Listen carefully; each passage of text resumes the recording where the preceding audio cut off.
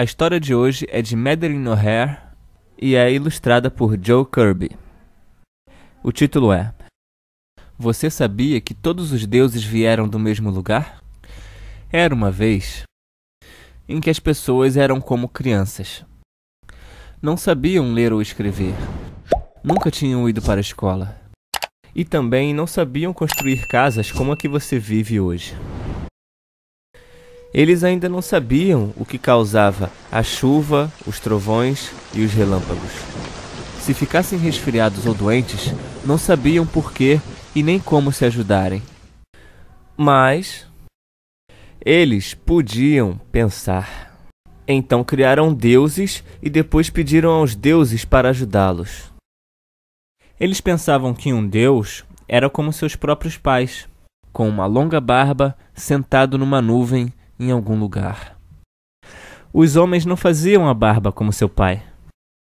E por fim, não importava o que acontecesse a elas, elas diziam: é obra de Deus. As pessoas imaginaram todo tipo de deuses. E é por isso que agora em nosso mundo existem muitos, muitos deuses. Os deuses sempre se parecem com as pessoas que os criaram.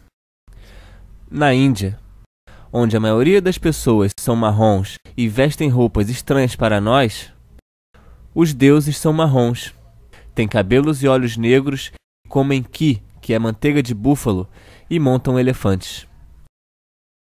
A Índia é um país muito velho. Foi por lá que os primeiros deuses foram criados.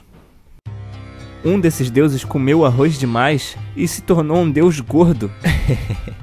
Já os deuses chineses eram como as pessoas chinesas.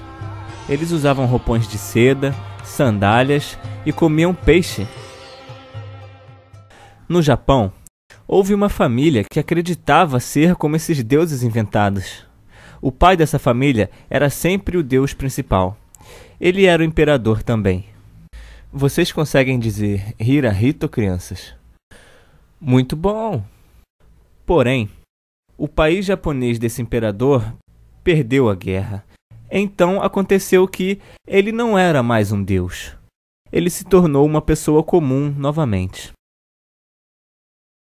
Quando um país entra em guerra com outro país, o vencedor faz com que o perdedor pare de brincar com o seu Deus e comece a brincar com o Deus do vencedor. Os muçulmanos fizeram pessoas aceitarem o seu Deus fazendo guerra contra elas. Os cristãos também forçaram outros países a aceitarem o seu Deus e continuam impondo sua opinião até hoje. De vez em quando, um rei quer mudar os deuses para quem eles oram. Então ele diz a todas as pessoas do seu povo que elas devem aceitar o novo Deus. Podia acontecer de um rei ouvir sobre um Deus inventado de outro país, gostar dele e trazê-lo para se juntar aos deuses que eles já conheciam. Isso não é estranho, crianças?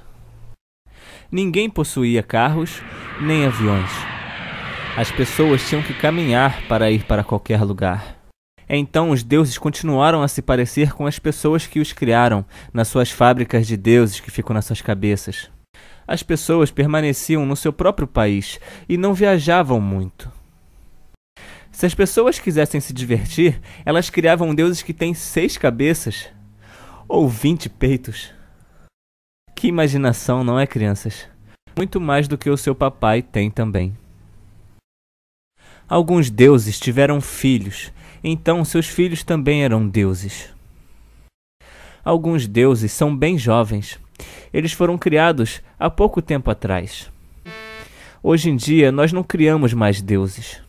Nós sabemos o que causa o trovão, o relâmpago e a chuva e temos médicos que nos ajudam quando nós estamos doentes.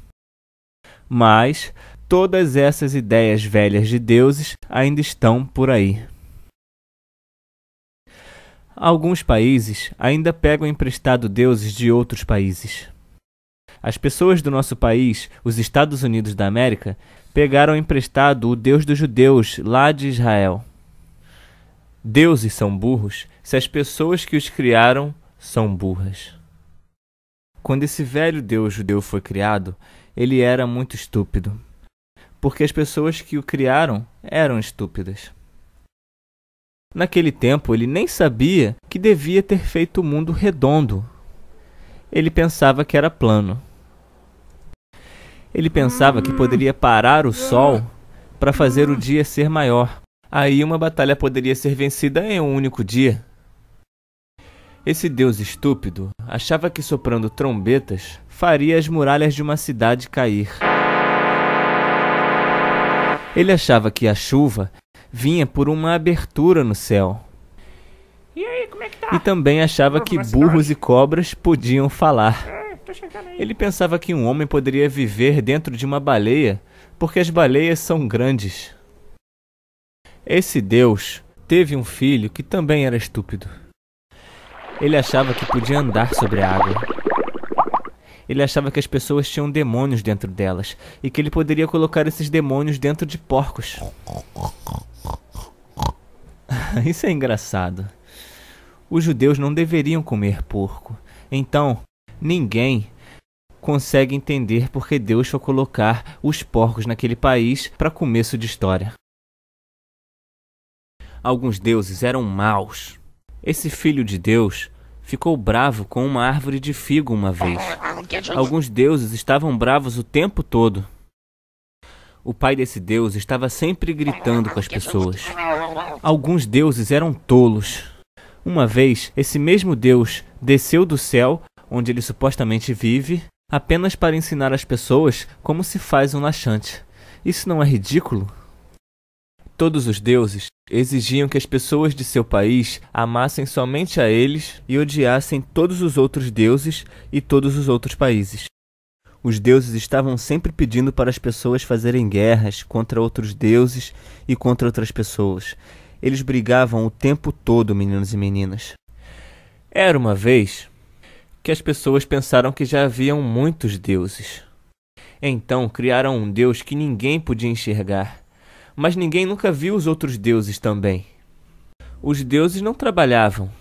Eles não eram fazendeiros, pescadores, nem carpinteiros. Eles não trabalhavam em fábricas nem em escritórios. Por quê? Porque eles são de faz de conta.